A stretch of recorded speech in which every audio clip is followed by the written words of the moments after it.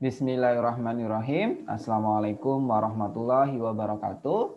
Dalam kesempatan kali ini kita akan membahas materi tentang fungsi transenden pada mata kuliah kalkulus 1. Ada beberapa subbab yang akan kita bahas. Pertama tentang inverse fungsi, dilanjutkan fungsi satu-satu, grafik inverse fungsi, dan terakhir tentang turunan inverse fungsi. Langsung saja kita mulai dari inverse fungsi. Nah, kalian masih ingat definisi tentang fungsi? Nah, tentu kalian sudah pernah belajar ya di eh, SMP maupun SMA tentang fungsi. Nah, misalkan F itu fungsi yang memetakan dari DF atau domain fungsi ke RF atau range fungsi dengan X memetakan ke Y sama dengan Fx. Nah, eh, masih ingat definisi dari fungsi? Sebelum kita ke inverse-nya ya, kalian harus tahu dulu eh, definisi dari fungsi itu apa. Fungsi ya. Fungsi dari X ke Y adalah relasi ya. Relasi yang memetakan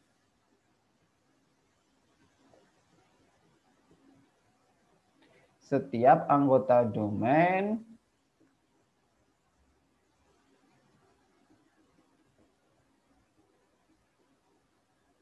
ya dengan tepat satu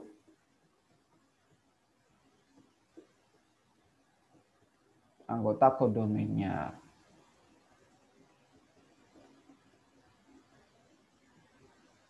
Nah, ini yang definisi fungsi yang sudah kalian pelajari dari SMP mungkin sudah belajar ya. Oke, coba saya ingin memberi contoh. Misalkan kita bentuk dalam diagram panah seperti ini, ini A, ini B. Ini elemennya 1, 2, 3. Ini A, B, C, gitu ya. Ini pas A-nya satunya ke A, lalu duanya ke A, ya, terus eh, tiganya ke C, misalkan duanya juga ke B. Apakah ini suatu fungsi? Nah, jelas ini bukan fungsi. Kenapa? Karena si anggota A, yaitu domain di sini, salah satu anggota domain dalam hal ini dua, dia memiliki dua pasangan, yaitu A dan A dan B. Jelas, berarti ini bukan suatu fung fungsi. Oke, kalau saya ganti, apakah ini fungsi? Bukan. Kenapa? Karena ada anggota domain yang tidak memiliki pasangan. Di sini tadi kan ada kata kuncinya setiap anggota domain. Berarti semua yang ada di A ini harus punya pasangan. Oke, eh, bagaimana kalau bentuknya seperti ini? Nah, apakah ini fungsi? Nah, fungsi ya, jelas fungsi. Nah, mungkin ada yang uh, jawab ini bukan fungsi ya. Alasannya, lah ini kan ada yang punya dua pasangan ya, Anya. Ya kan? A ini memiliki dua pasangan. Jawabannya tidak masalah. Kenapa? Karena di sini tadi yang memiliki setiap yang memiliki tepat satu pasangan itu yang do domain gitu, yang domain. Padahal ini kan kodomain ya. Jadi kita cukup melihatnya si domainnya saja. Kalau setiap anggota domain di sini memiliki tepat satu pasangan, Nah, ini merupakan suatu fungsi. Oke, ini contoh yang fungsi.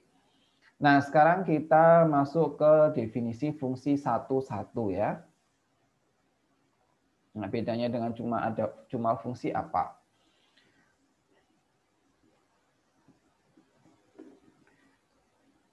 Nah, di sini diberikan definisi dari fungsi eh, satu-satu. Fungsi Y sama dengan Fx disebut fungsi satu-satu jika Fu sama dengan Fv, maka U sama dengan V. Jika U tidak sama dengan V, maka Fu tidak sama dengan Fv. Oke, menarik juga ini definisinya.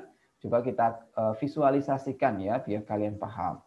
Di misalkan kita punya ini domain dan kodomain dia dalam diagram panah A, ini B, ya.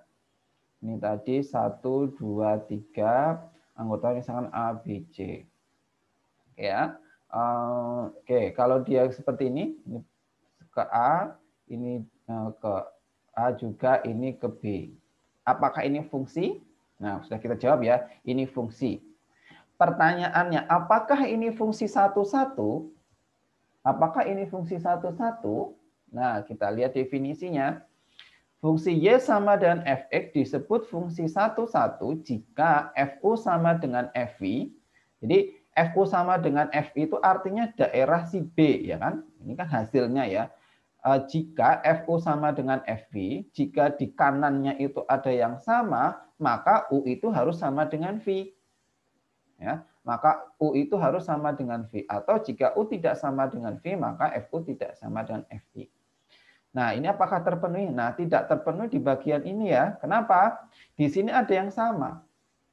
Fu sama dengan Fi, yaitu kalau di sini berarti F 1 itu akan sama dengan F2 ya kan dalam hal ini dia sama-sama hasilnya A. Nah, padahal di sini A 1 itu tidak sama dengan 2. Nah, maka ini contoh yang bukan fungsi satu satu. Oke, terus fungsi satu-satu yang seperti apa gitu ya? Fungsi satu-satu yang seperti apa? Nah, misalkan ini saya ganti ya. Nah, ini kita ganti ke C misalkan. Ini tiganya ke B. Nah, ini contoh yang fungsi satu-satu. Oke, coba kita cek pakai definisi. Jika FU sama dengan FV, maka U sama dengan V. Nah, apakah di sini ada yang FU sama dengan FI? Enggak ada ya di B. Atau, nah ada atonya, U tidak sama dengan V, maka FU tidak sama dengan FV. Nah, apakah di sini Nah, artinya ini U tidak sama dengan V. Nah, 1, 2, 3 kan jelas berbeda semua ya. Satu kan tidak sama dengan dua, satu tidak sama dengan tiga, dan dua tidak sama dengan tiga.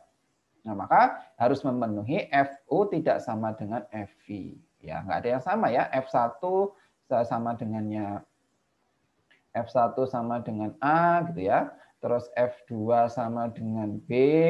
Nah, terus F3 sama dengan C. Eh sorry, hmm, F3 kita sama dengan yang ini F2C, eh, F3 itu sama dengan B. Nah ini ya, ini fungsi satu-satu karena ini tidak ada yang sama kan satu, dua dan tiga kan tidak tidak ada yang sama dan hasil F-nya juga semuanya berbeda A, B dan C. Nah ini contoh fungsi satu-satu. Oke, Uh, ada yang bisa kita lihat gampangnya gimana sih sebenarnya fungsi satu-satu? Nah, gampangnya sebenarnya bisa kita lihat kalau fungsi satu-satu tadi yang harus punya tepat satu pasangan. Jadi tadi kalau tadi fungsinya setiap anggota domain ya, setiap anggota domain memiliki tepat satu pasangan di kodomainnya. Nah, kalau ini kalau kita lihat yang harus punya tepat satu pasangan itu tidak hanya domain maupun uh, kodo, tidak hanya domainnya saja, kodomain juga harus memiliki tepat satu pasangan. Ya, jadi bisa kita artikan fungsi satu-satu jika untuk setiap anggota domain dan kodomain, ya, dua-duanya, eh, semuanya setiap anggotanya memiliki tepat satu pasangan. Inilah definisi dari fungsi satu-satu. Oke, sekarang kita ke contoh ya.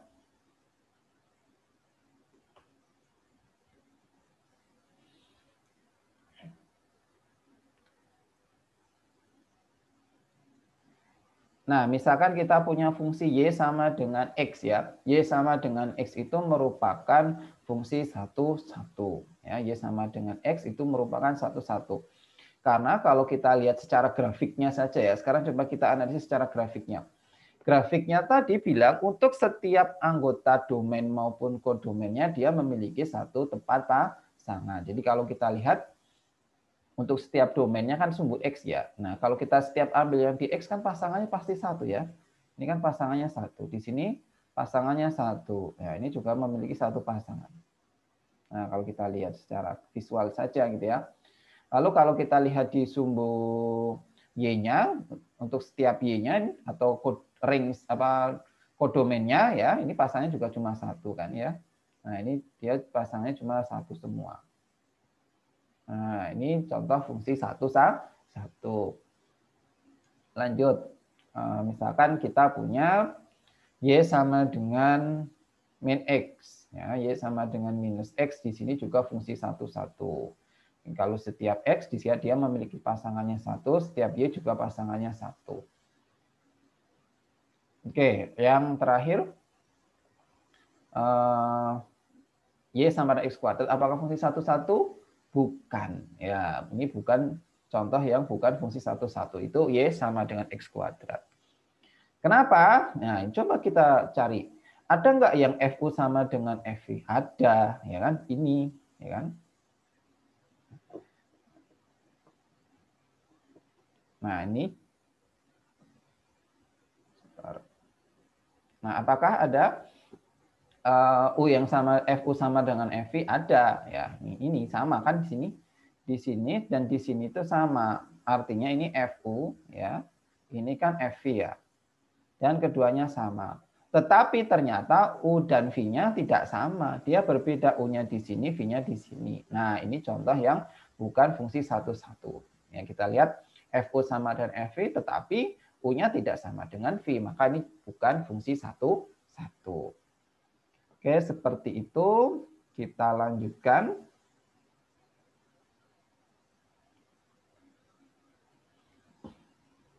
Oke, sekarang kalau secara geometrik ya. Secara geometris,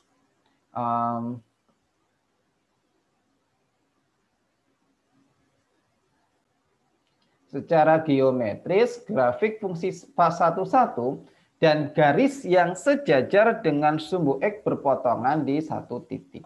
Jadi grafik fungsi satu-satu itu harus berpotongan dengan setiap garis yang sejajar dengan sumbu X. Oke, kita lihat ya uh, contoh kita tadi ini. Nah, ini Y sama dan X tadi ini jelas suatu fungsi satu-satu. Kalau pakai apa? Menggunakan uh, teorema tadi, teorema yang secara geometris ya, secara geometris ini setiap kita bikin garis yang sejajar dengan sumbu X, dia pasti memotongnya di satu tempat ya. Nih, kita potong. Nah, ini setiap kita bikin yang sejajar ya kan, dia motongnya pasti di satu tempat. Nah, di sini. Ini di satu tempat saja. Maka ini eh, salah satu fungsi satu satu. Oke, lanjut. Yang kedua, yang y sama minus x. Nah, sama y sama dengan minus x ini, setiap kita bikin garis yang sejajar dengan sumbu x, ya, dia memotongnya di satu tempat. Nah, ini di satu tempat semuanya. Maka ini merupakan fungsi satu satu. Oke, Lalu yang contoh yang bukan ya, ini contoh yang bukan tadi, Y sama dengan X kuadrat ini bukan fungsi satu-satu. Kenapa? Karena kita bikin garis yang sejajar dengan sumbu X, nah ini dia memotongnya di dua tempat. Pada syaratnya tadi harus memotong di satu tempat. Nah kan saya membuat di sininya dia memotong di satu tempat ya. ya ini memotong di satu tempat. Ya, tapi kan ada garis yang lain. Tadi kan dikatakan untuk setiap garis ya, untuk setiap garis yang sejajar dengan sumbu X. Jadi harus setiap garis yang kita buat itu memotongnya harus di dua tempat. Nah, di sini dia memotongnya di dua tempat. Maka ini bukan fungsi satu-satu. Apalagi di sini ya, di sini dia malah tidak memotong. Jadi harus tepat memotong di satu titik. Tidak boleh tidak memotong. Dan kalau memotong pun harus satu, tidak boleh dua, dan seterusnya. Oke, bisa ya? Kita lanjutkan.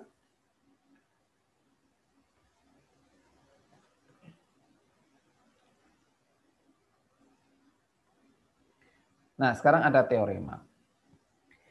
Jika F11, maka F mempunyai inverse. Kita notasikan dengan F dipangkatkan minus 1.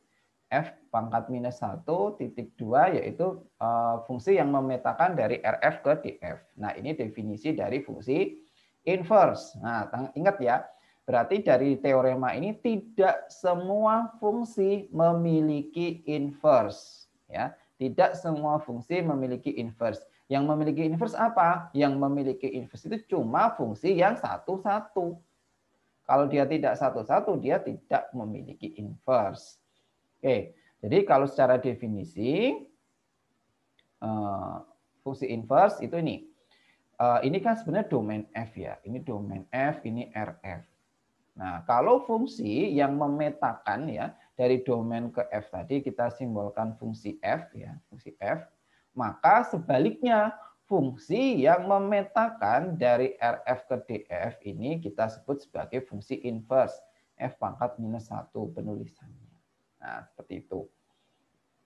Ini definisi dari fungsi satu satu fungsi inverse ya. Eh, jadi dilihat tadi harus satu-satu dulu, baru dia memiliki inverse. Nah, sekarang cara mencarinya gimana ya? Cara mencarinya ini, nah, jadi fungsi inverse itu fungsi yang memetakan dari y ke x. Ya, y ke x kita tulis dengan f inverse x. Nah, jadi kalau caranya ya nanti ini seperti ini, dibikin x sama dengan ya ini dari sini kelihatan, oh ternyata nanti untuk mencari inverse itu kita bikin X sama dengan. Nah, sama dengan fungsi dalam Y. Nah, ini cara mencari fungsi inverse nanti. Nah, ini ya, eh, visualisasikan. Eh, jadi kalau dia memetakan dari DF eh, ke RF, ya itu kita sebut sebagai fungsinya. Ya, Y sama dengan F, Fx. Tapi kalau dari RF ke DF, kita terus F pangkat minus 1, itu inverse-nya. Kita tuliskan nanti jadi X sama dengan F inverse Y. Berlaku hubungan bahwa F inverse dari Fx itu sama dengan X. ya. Jadi F inverse dari fungsi Fx nanti dia kembali lagi ke X. Dan F dari F inverse Y, F dari F inverse Y itu sama dengan Y. Terakhir, ini domain dari F inverse sama dengan RF, jelas ya. Berarti kalau F inverse tadi domainnya si RF ya, karena di sini. Tapi kalau eh, apa hasilnya, hasil dari F inverse itu DF. Nah, hasilnya di sini. Nah, jadi F inverse itu memiliki domain di RF dan kodomainnya di DF.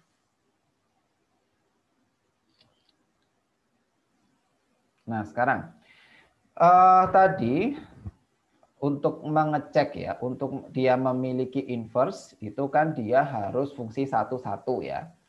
Nah, untuk mengecek fungsi satu-satu kita cukup uh, kesusahan ya. Uh, tadi ada cara gampangnya sebenarnya tinggal kita buat saja grafiknya, terus kita bikin garis yang sejajar dengan sumbu X. Apakah dia memotong tepat satu?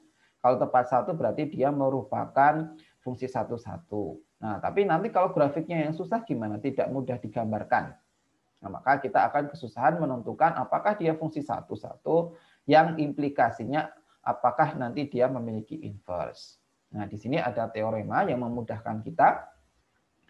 Jika F monoton murni, nah monoton murni itu artinya selalu naik ataupun selalu tuh turun. Maka F mempunyai inverse. Nah, ini penting ya.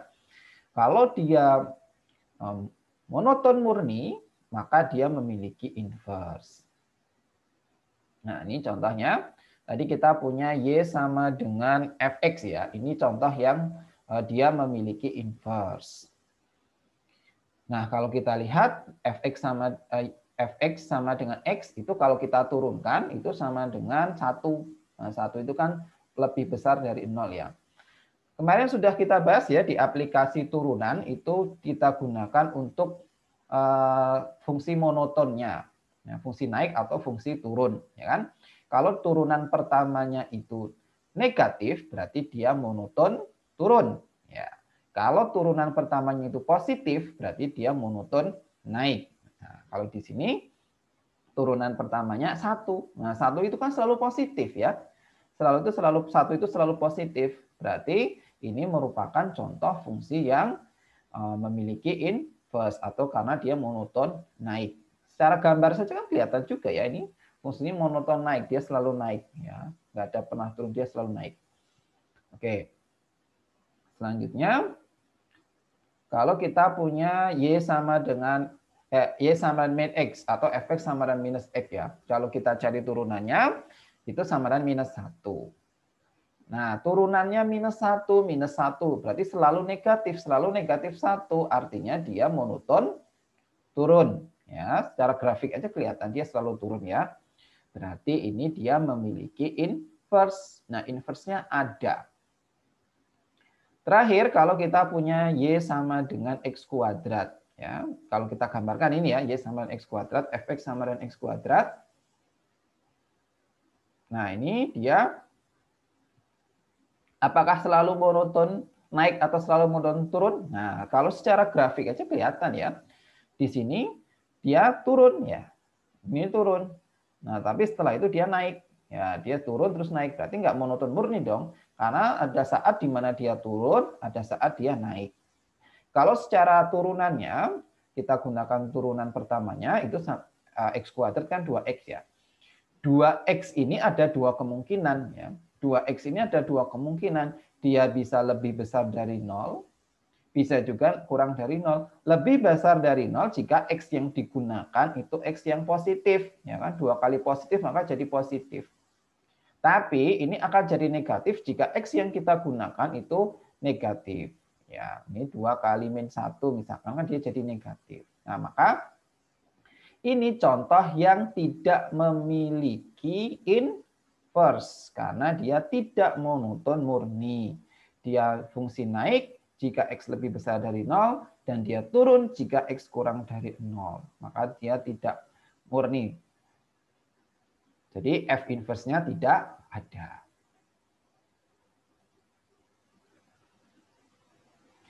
Contoh ya, fx sama dengan x min 1 per x plus 2. Periksalah apakah f mempunyai inverse jika ada tentukan inverse-nya. Oke, tadi ya kita sudah punya teorema yang bagus. Eh, dia itu punya inverse jika monoton murni. Nah, maka kita cek dulu kemonotonannya itu pakai turunan pertama.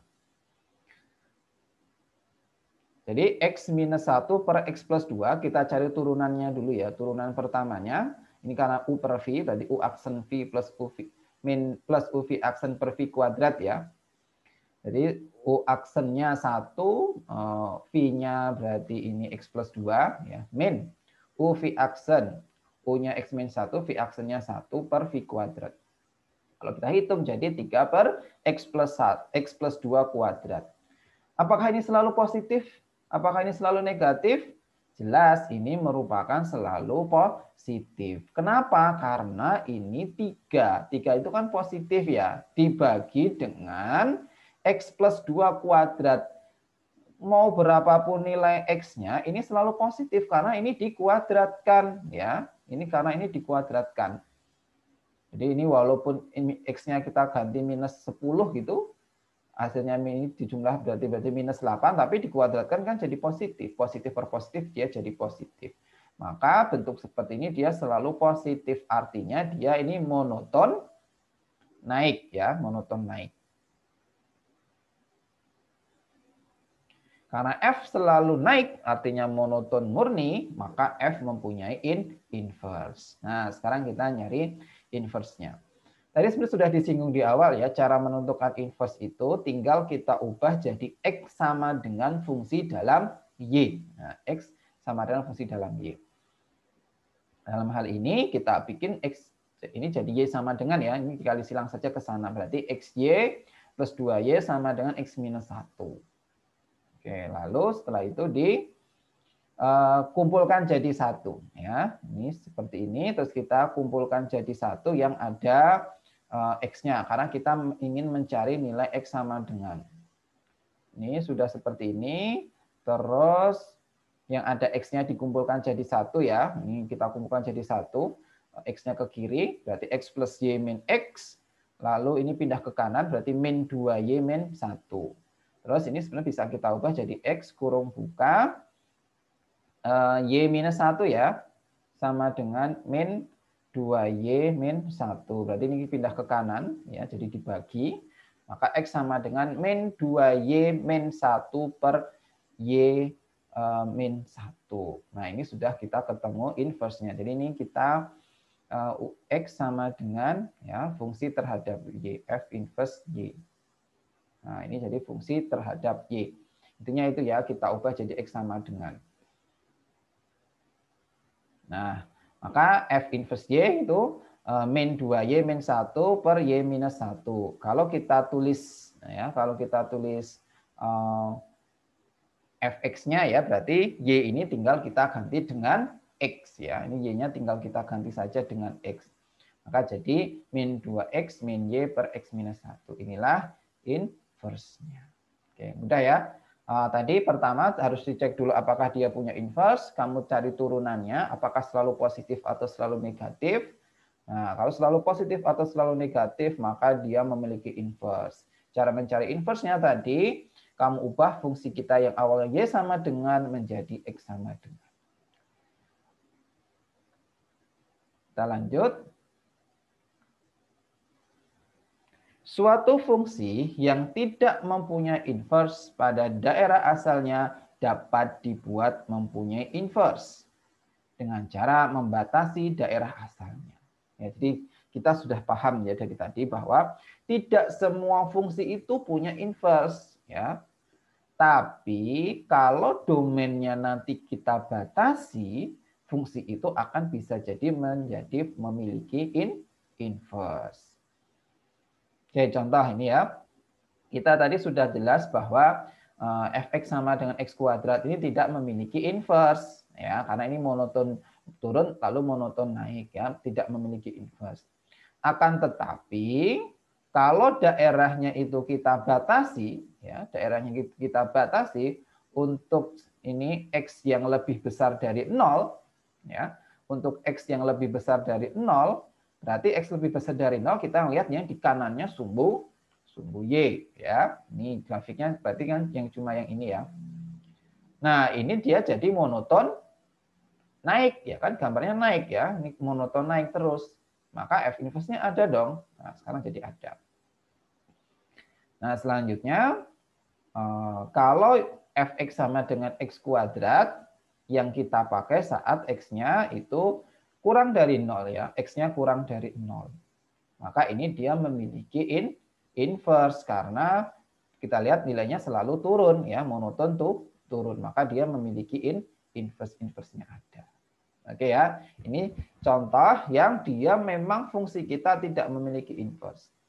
Tapi setelah kita batasi domainnya, eh, supaya dia selalu monoton monoton murni, dalam ini monoton naik atau monoton turun, maka dia akan menjadi memiliki in, inverse.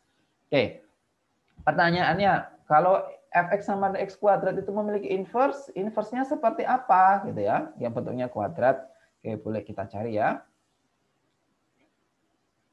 Oke, misalkan ini eh, kita punya tadi y sama dengan Y sama dengan X kuadrat ya. Ini jelas tidak memiliki inverse. Nah, tapi kalau kita batasi domainnya ya, misalkan tadi kita pilih X-nya yang lebih besar dari 0 ya. X lebih besar dari 0, ini bisa jadi dia jadi memiliki inverse sekarang. Oke, coba sekarang kalau sudah punya inverse, dia inverse-nya apa gitu ya? Inverse-nya apa? Atau sebentar, kita cari dulu, uh, selidiki dulu ya Y aksennya apa? Y aksen tadi kan 2X ya. Kalau X-nya lebih besar dari 0, berarti ini nilainya selalu positif, ya kan? Karena X-nya selalu lebih besar dari 0. Berarti ini monoton naik. Nah, nah kalau monoton naik, berarti ini dia memiliki in inverse. Oke, inverse-nya apa? Ya udah, Y sama dengan X kuadrat ini kita ubah jadi X sama dengan, berarti X sama dengan apa? X sama dengan plus minus akar dari uh, Y gitu kan. Nah, kita lihat X sama dengan plus minus dari akar Y. Nah, karena di sini tadi sudah didefinisikan X-nya itu positif, maka yang dipakai yang mana? Yang plus akar Y atau yang minus akar Y? Jelas yang plus akar Y. Nah, itu ya. Ini jelas yang plus akar Y. Kenapa? Ya ini tadi kan dia syaratnya X-nya positif. Nah, maka kita dapat di sini um, yang dipakai ya, yang dipakai X sama dengan uh, akar Y. Artinya F minus F inverse X-nya tadi sama dengan uh, akar X ya. Jadi kalau uh, inverse-nya kan tinggal kita ganti ya Y-nya dengan X. Nah ini contoh ya. Uh, yang kedua contohnya misalkan yang Y sama dengan X kuadrat ya, tetapi kita ambil untuk X-nya kurang dari 0. Ya.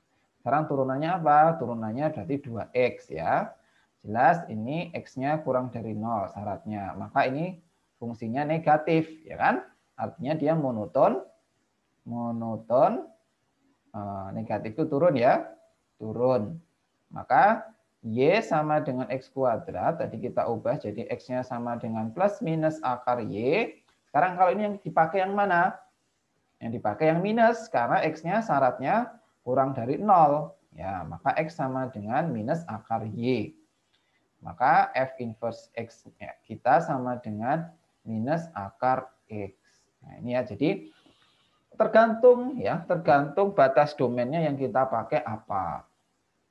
Kalau tadi yang plus berarti yang kita pakai yang akar x, kalau yang minus minus min akar x. Nah, ini contoh bahwa dia uh, awalnya tidak punya inverse gitu ya. Kalau keseluruhan domain dia tidak memiliki inverse, tapi kalau kita batasi domainnya dia jadi memiliki in inverse. Oke, coba kita kasih contoh yang lainnya. Oke, sekarang untuk uh, yang persamaan kuadrat ya, yang lengkap ada A, ada B, ada C-nya ya. Uh, nomor 3. Saat nih, saya punya fx sama dengan x kuadrat plus 2x, atau jangan 2 ya, 4x saja. 4x plus um, berapa ya? 10 misalkan. ya X kuadrat plus 4x plus 10. Apakah ini punya inverse? Coba kita cek dulu ya. Kita cek dulu ya. Turunannya apa sih? Turunannya apa?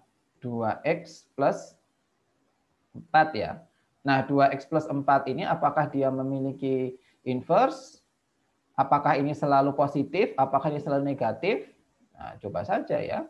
Coba, kalau misalkan saya ambil ya, x-nya sama dengan 0. Nilainya berapa? Y-nya.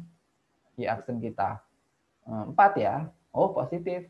Tapi kalau x-nya saya ambil negatif hmm, 3 misalkan. Jadi berapa Y aksennya? Negatif 3 berarti negatif 6 ya. Negatif 6 ditambah 4. Negatif 2 lah ini monoton turun, ini monoton naik. Nah berarti ini dia contoh yang tidak memiliki inverse. Nah ini tidak memiliki inverse. Nah sekarang coba akan kita batasi ya. Coba akan kita berikan batas supaya fungsi ini memiliki in inverse. Oke, cara memberi, uh, memberi batasnya, ini kita sama dengan K0 aja ya, turunan pertama ini. 2X plus 4 sama dengan 0, maka kita dapat 2X sama dengan minus 4 ya. X-nya sama dengan, ini jadi minus 2 ya. Jadi batasnya itu di minus 2. Kalau X-nya nanti kurang dari minus 2, maka dia akan jadi negatif. Ya, tapi kalau X-nya lebih besar dari minus 2, dia akan po positif. Nah ya, jadi ini nanti batasnya ini. Ini batasnya ada dua ya. Tadi saat X-nya kurang dari minus 2 atau saat X-nya lebih besar dari minus 2. Nah ini batasnya. Oke, misalnya ya, misalkan ini sudah nanti kita eh, kita beri batas kurang dari minus 2 atau lebih besar dari minus 2. Nah sekarang bagaimana ya cara mencari inverse-nya? Oke, sekarang cara mencari inverse-nya ya sudah kita ubah ini jadi x sama de x sama dengan. Oke, sebentar ini saya hapus biar ada tempat untuk mengerjakan.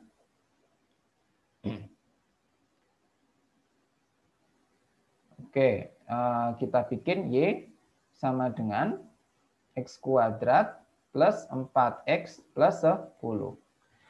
Gimana ya? Mengubahnya menjadi X sama dengan. Gimana mengubah X sama dengannya? Ini pada ada X kuadrat ada 4X ya. Nah ini kita gunakan dengan melengkapkan kuadrat sempurna. Kalau masih ingat ya. Jadi ini Y sama dengan X kuadrat plus 4X plus 4. Nah, jadi ini plus 4 itu dapat dari mana? Dari ini ya, setengahnya yang tengah dikuadratkan. Jadi sebenarnya ini dapat dari min B ya min B di min setengah B ya Eh enggak, pakai minus ding, setengah B dikuadratkan saja ini dapatnya. Jadi setengahnya 4 itu kan 2 ya, 2 dikuadratkan 4. Ini plus, nah ini harus disinkronkan karena ini 10 ya berarti masih ada plus 6 ya. Nah ini bisa kita tulis jadi X plus 2 dikuadratkan ditambah 6. Nah kan gitu. Karena 6-nya dipindah, maka jadi eh, X plus 2 dikuadratkan itu sama dengan Y minus 6. Nah berarti kita dapat uh, y-nya kan kita ingin menjadi x sama dengan ya, menjadi pengen jadi x sama dengan berarti ini x plus 2 sama dengan plus minus akar ya dari y minus 6. Itu berarti x-nya sama dengan apa? Plus minus akar y minus 6 dikurangi 2. Nah, inilah uh, x sama dengannya. Sekarang tinggal kita tuliskan f inverse-nya Nah, kita tulis di sini ya. Maka F inverse X kita itu sama dengan ada plus ada minusnya ya. Kita ambil yang plus dulu. Berarti yang plus saat akar dari X minus 6 dikurangi 2. Ya. Lalu yang satunya F minus X itu sama dengan akar. Minus akar ya. Minus akar dari X minus 6 dikurangi 2. Jadi ada yang minus, ya, ada yang positif. Nah, sekarang kita berikan eh, syaratnya ya. Syaratnya di sini tadi untuk X-nya kurang dari negatif 2 maupun X-nya yang lebih besar dari negatif 2.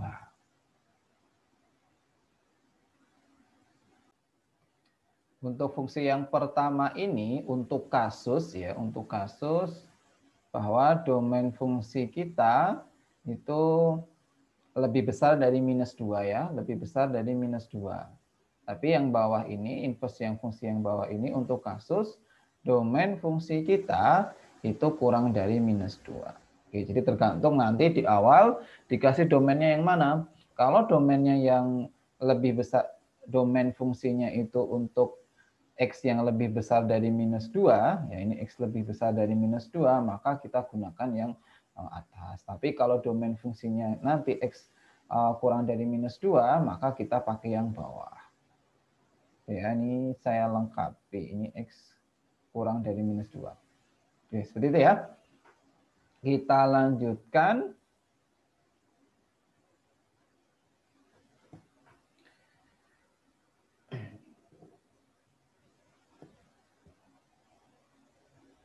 Nah, sekarang tentang grafik fungsi inverse. Nah, titik x, y terletak pada grafik f. Ya, jadi kalau uh, uh, f itu titiknya x, y. Nah, tapi kalau kita gambarkan titik y, x itu terletak pada f inverse. Ya kan? Jadi inverse itu kan dibaliknya ya. Maka kalau x, y itu terletak pada grafik f, maka kebalik f inverse itu titiknya jadi y, x. Titik x, y dan y, x simetri terhadap y sama dengan x. Ya. Maka grafik f dan f inverse simetri terhadap garis y sama dengan x. Nah ini eh, kata pentingnya ya. Grafik dari fungsi f dan f inverse itu dia simetri terhadap y sama dengan x. Misal ini kita punya grafik untuk fungsi fx ya. Yang ini fungsi fx. Maka grafik F inverse itu merupakan grafik yang simetri terhadap Y sama dengan X. Nah, ini misalkan Y sama dengan X-nya. Maka simetrinya di bawahnya, nah ini simetri, ini merupakan grafik dari F inverse X. Ya, diingat-ingat bahwa grafik fungsi F dan F inverse itu saling simetri terhadap Y sama dengan X. Sekarang turunan inverse fungsi teorema ya, diberikan teorema. Misalkan f, ya, f itu merupakan uh, fungsi monoton murni dan mempunyai turunan pada selang ke i. Jika f aksen x tidak sama dengan 0 dan x elemen i, maka f inverse dapat diturunkan maka f inverse dapat diturunkan di y sama dengan fx dan berlaku hubungan F inverse dari Y sama dengan seper F inverse X. Nah ini ya kata pentingnya. Bahwa turunan ya, uh, turunan dari F inverse, nah, turunan dari F inverse itu sama dengan seper turunan dari fungsi kita Fx. Nah ini ya, nanti sering kita pakai nih sifat. Bahwa turunan dari inverse itu sama dengan seper uh, turunan dari fungsi. Eh, bentuk di atas juga dapat dituliskan sebagai berikut. Nah, kalau kita pakai notasi dy dx ya, Pak, bahwa dx dy, ya, dx dy itu sama dengan 1 per dy dx. Contoh nih, kita suruh menentukan uh, f inverse dari 4 ya. F inverse yang diturunkan gitu ya, terus substitusi 4. Oke. Maka caranya uh, kalau cara biasa ya, kalau cara biasa gimana? Ya cari inverse-nya dulu ya. Cari inverse-nya dulu, diturunkan baru disubstitusikan 4. Nah, itu kalau pakai cara biasanya. Nah, kalau ini kalau kita gunakan teorema tadi, maka ya f aksennya f aksen x kan sama dengan 5x pangkat 4 plus 2 ya. Ya, ini f aksen x sama dengan 5x kuadrat plus 5x eh, pangkat 4 plus 2. Maka eh, jika Y sama dengan 4, jika dan hanya jika X sama dengan 1. Nah, setelah itu eh, F inverse aksen 4 sama dengan 1 per F aksen 1, yaitu sama dengan 1 per 7.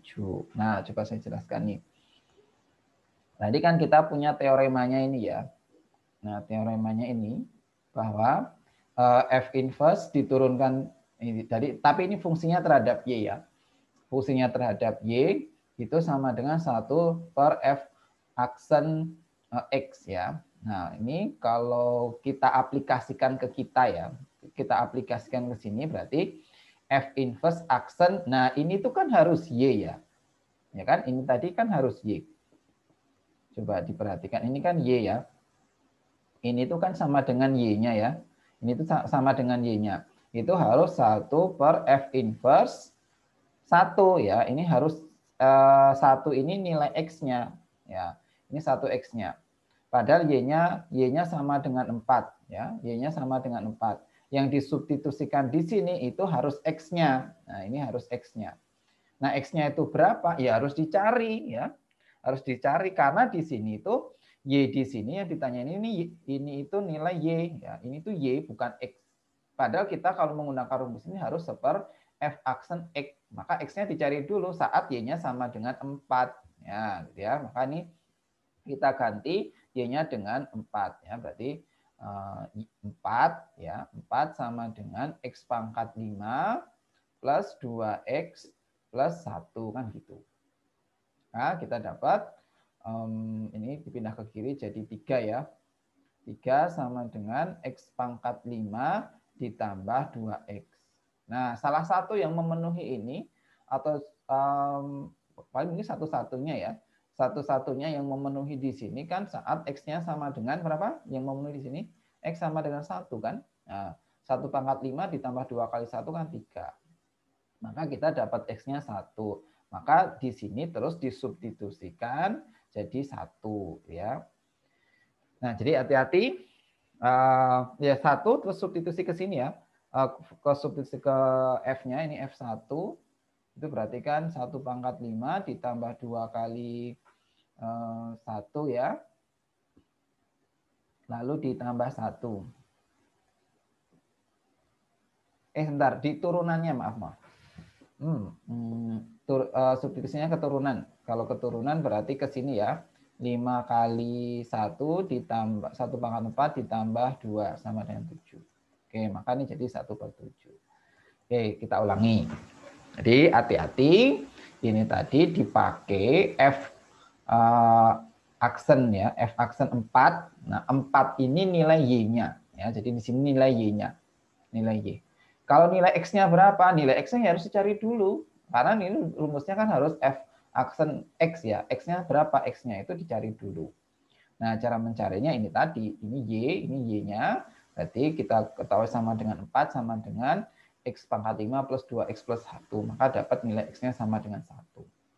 Sudah, kalau kita sudah masukin di sini F inverse aksen Y, dalam ini Y-nya sama 4 sama dengan 1 per F aksen X. Nah, X kita tadi sudah kita cari 1. Nah, maka substitusikan F aksen 1 ke sini, hasilnya 7. Maka hasilnya 1 per 7. Oke, bisa ya? Jadi untuk menentukan turunan dari fungsi inverse. Kita lanjutkan.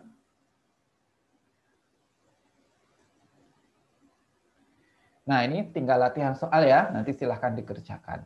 Tentukan fungsi inverse bila ada. Maka ini catatan di sini harus kalian tunjukkan dulu ya. Dia memiliki inverse atau di apa diselidiki dia memiliki inverse enggak? pakai turunan tadi ya. Jadi pertama ini silahkan diselidiki uh, dulu apakah dia memiliki inverse ya.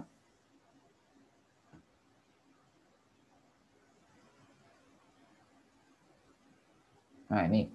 Jadi nanti silahkan nomor 1 sampai 6 diselidiki dulu apakah dia memiliki inverse? Ya tadi pakai uh, monoton murni tadi ya. Kalau dia memiliki inverse uh, silahkan tentukan nilai inverse-nya berapa. Oke, uh, saya kira cukup ya pembahasan kita kali ini tentang fungsi transenden masih bagian awal yaitu tentang definisi dari fungsi inverse. Dan sifat-sifatnya tadi ya. Salah satunya turunan dari fungsi inverse. Nah, karena nanti materi ini akan sangat kita gunakan, sering kita pakai saat kita membahas masing-masing dari fungsi transenden itu. Oke, nanti kita lanjutkan selanjutnya ke beberapa fungsi transenden. Eh, sekian pembahasan kali ini. Semoga bermanfaat. Terima kasih. Wassalamualaikum warahmatullahi wabarakatuh.